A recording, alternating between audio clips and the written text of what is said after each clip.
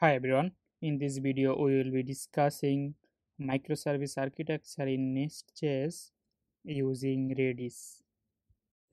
So I have created a new application called API Gateway. Inside the source I will remove controller test file, controller as well as service. Also the in app, app module remove the reference because we will no longer use these files. Now we will generate a module using Nest.js CLI.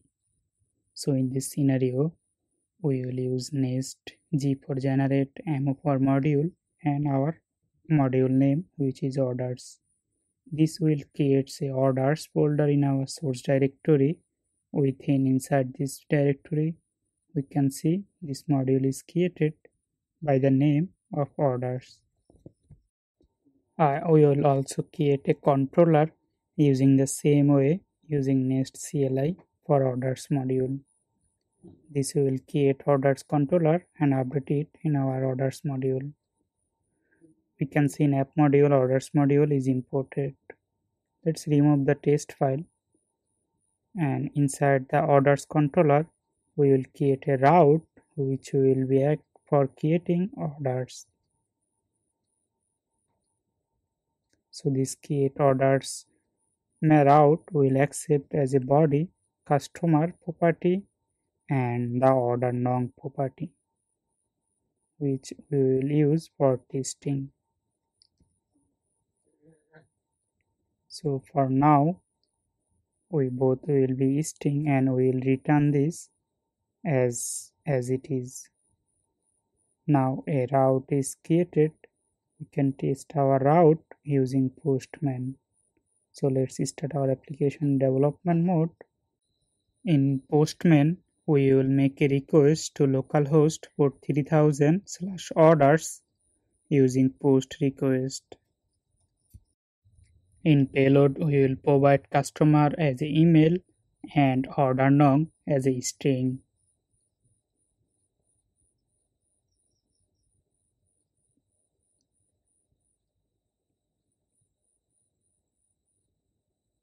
after that if we make a request we can see it's successfully resolved so that now our API gateway is working fine and we have a route.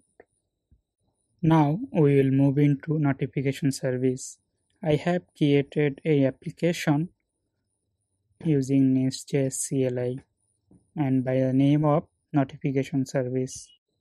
In notification service, in the first I will remove those files which will not use like app controller, app service and also its reference from app module. To use Nest.js microservice, we have to add two dependencies. One is Nest.js microservices and for Redis, we have to install IORedis package.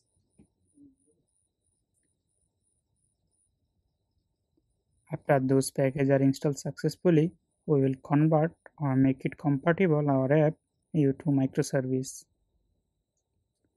We'll use app.connect microservice method which is type is microservice option and this function is accept some properties like transport in this scenario it will be redis and also in the options property we have to define port which will be our currently running redis port. So let's get this port from redis cli we can see it's running on port 6379 if you don't have redis installed you first need to install it. And the host will be localhost after that we have to start our microservice using start all microservice asynchronously so everything is configured fine. We will change our port default 3000 to 4000 because our API gateway is using same port 3000 now we start this application in development mode to check everything is working properly. We can see it's working fine. So now we will move into our API gateway to connect our microservice inside the API gateway so that we can emit an event whenever a order is created. In API gateway, we have to first install Nest.js microservice package as well as IO Redis package to make it connect with other microservice. After installation, we will open orders module and inside the imports array, we will use client module from Nest.js microservice and use its register method which accept array of object. Inside the object, we will first define a name for this microservice. Let's call it notification service and inside this option, we will provide the port as same as our notification service options where is port is and the host is localhost.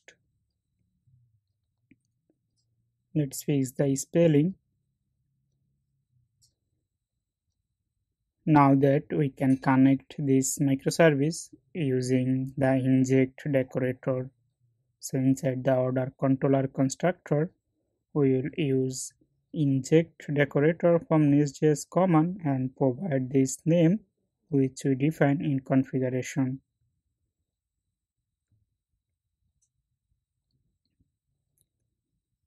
and use the client and type will be client proxy from Nest.js microservice.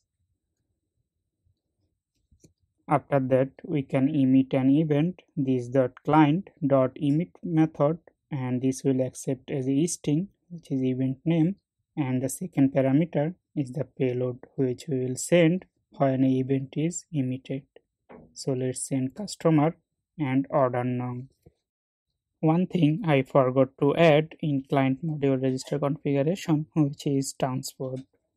So we have to define transport as a Redis so now we can see everything is fine and our application is running perfectly. So let's get back to notification service and create a module. Let's call it mailer as well as create a controller for mailer module. Inside this controller we'll first remove the test file and inside this controller we will define a handler route as well as the event pattern decorator.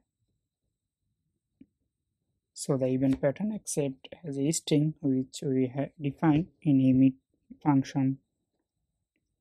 And after that, let's create a method. Let's call it handle order created. This will accept a parameter which is data. This data will come from when the event is emitted. For now, we'll add console log and let's start this application in development mode to test. So if I open Postman and make a request, we can see in notification service a console is printed. If I hit it again with another payload, we should see there another console log is printed. So that now when an order is created, a event is emitted to Redis and inside the notification service we can see we can get this data whenever event is emitted. And we can perform our logic inside the notification service based on the event and its data. So that's it about implementing redis microservice in nest.js thank you for watching. See you in next video